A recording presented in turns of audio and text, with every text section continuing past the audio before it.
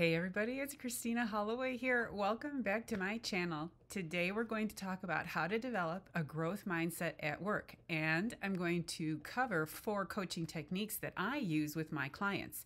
There's a difference between having a growth mindset and a fixed mindset, and we're going to talk about that today. Also, this video has another objective. It's my birthday next week, and this video is a big thank you to you for watching my videos, subscribing to my channel, and supporting me as I grow on YouTube.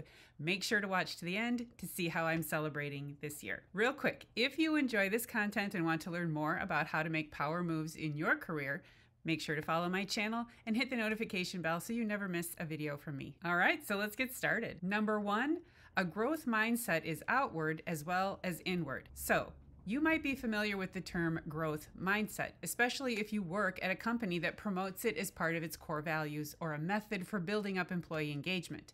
Personally, I think companies tend to latch on to popular terms like this, and then they give it a whole new definition, which takes the power out of the concept.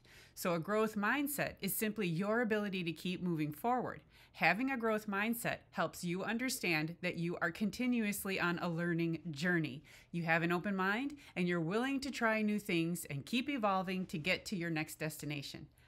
A fixed mindset is really about believing that things are the way they are and there isn't much you can do to change it. Phrases like, oh well, it's too late now, or I'm not learning that, that's not part of my job, are good examples of having a fixed mindset. You may struggle to see the value of something that takes you outside your comfort zone. Now, if you tend to internalize what a growth mindset is supposed to look like, you could run into problems. Your ideas of a growth mindset could start working against you, especially in stressful situations you may withdraw and become isolated. Ideas like embracing challenges or failing forward or building resilience can be a part of a growth mindset, but without context, they can cause a lot of stress and anxiety, especially if you start turning them inward and telling yourself you need to be doing more because you're just not getting it. The outward part of a growth mindset will help you balance the two. On one hand, you can build up your confidence and be open to new experiences as you grow in your career learning and development are great tools for that.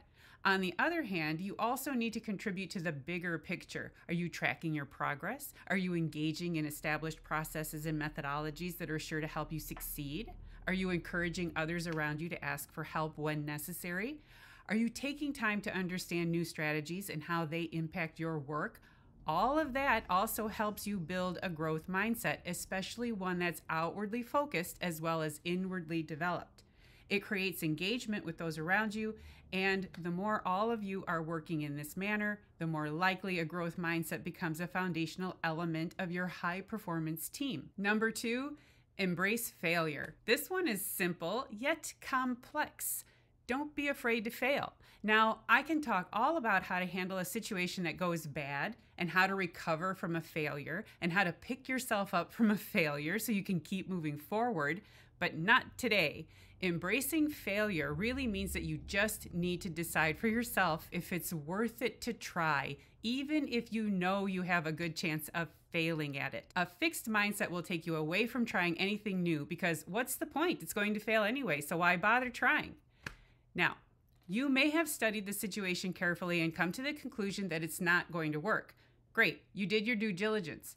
But if you have a tendency to steer away from new opportunities because of fear of failure, then your fixed mindset might be working against you. I could tell you we all fail. We all have experienced ex- embarrassing moments. It's a rite of passage. You get used to it, etc. But if you're facing something that's extremely important to you, those platitudes won't be helpful. You have to ask yourself if it's worth it to let that opportunity go by. And if fear of failure is the only thing holding you back from trying something really important to you, then you need to ask yourself what's the absolute worst thing that could happen if I fail? Go deep into it. I could go broke. I could lose my job. I could lose friends or family over this. After all that, if it's the worst that could happen, but it's still far fetched, then consider taking a chance on that opportunity. Because the next question is in 10 years, will I have regretted passing this up? I ask myself that question a lot. Will you regret not doing this? How bad could this go? And can you recover? And, you know, sometimes I do fail spectacularly, but at least I tried. And to me, that's a win. Number three, Give yourself a break. This one is hard. I see this a lot in women's magazines, and maybe this is a message that women need to hear more than men. Be kind to yourself. Maybe these magazines are referring more to negative self talk, like treat yourself like you would a friend and be kind. And that's true, but I tend to see it more in women, and me too. They tend to show up to coaching calls ready for the self critique. Hey, Christina, here are all the things I did wrong and how I can fix them. Or I guess I should have tried harder or done more. Then I would have been more successful. Many times that's not necessarily true. And I do it too. I was talking to my own coach many years ago and going through this difficult situation, and she asked, Why are you so hard on yourself? And I was surprised because I just didn't see it. I'm going to call this having a self care mindset. This goes along with self confidence and self esteem. Take care of your mind and your ability to see your worth through challenging times and also, you know, exhilarating times. Make this a regular habit of writing down your wins and your valuable contributions, even when things are going wrong. This is a growth mindset, seeing the victories inside the challenges. Constantly remind yourself that you have value and that you're building something important, your career, that's going to take you to bigger and better places as you continue to grow and learn. That's how you succeed. All right, so that's it for my video on how to develop a growth mindset, especially when things may seem to be going slow for you or just not going your way. If you have some great wins in your career this year, feel free to share them in the comments. I would love to celebrate them with you. Thank you again for being part of my YouTube journey. On a final note, to celebrate my YouTube milestones of 1,000 subscribers and 5,000 watch hours, and especially another trip around the sun for me, I'll be making my year end donations this year to two organizations St. Jude Children's Research Hospital and the Anti Cruelty Society, which is where I adopted the Augie dog.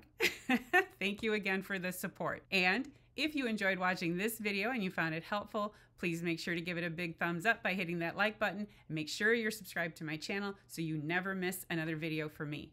Thank you for watching, and I'll see you in the next video. Bye.